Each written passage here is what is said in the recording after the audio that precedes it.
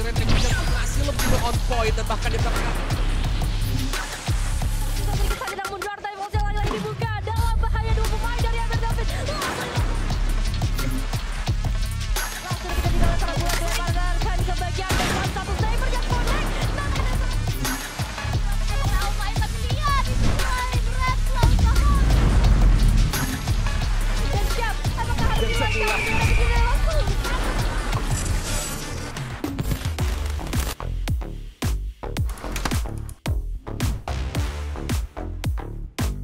Música